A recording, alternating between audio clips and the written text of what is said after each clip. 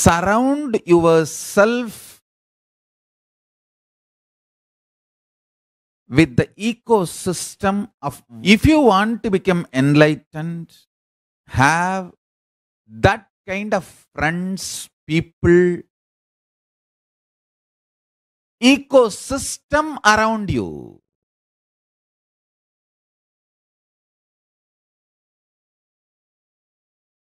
Because human being is fundamentally social animal. What constantly is fed into you goes into you whether you accept or reject. Please understand. Even when you are fighting, trying to reject something, with what you are fighting continues to remain as part of you. Last two years, almost two years,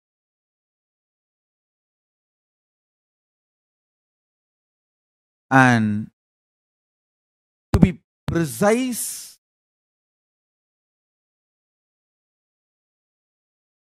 around 20 months. I'm almost out of the human society, living in seclusion. Understand? Hardly I was meeting handful of human beings and last few months not even handful just i can count it in one hand rarely eating, almost no one, two, three, constantly being in samadhi. Surround yourself with what you want to achieve in your life. If you want to master the science of money, naturally, Wall Street is the place for you, or Hong Kong is the place for you. Because even that air breathes with the idea of money, money, money. The whole ecosystem is built for that idea. Kubera-Puri. If you want to master the medical science, we have a place in Tamil Nadu.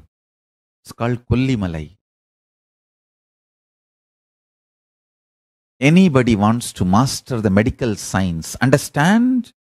I am making the statement medical science. I am not saying Indian medical science.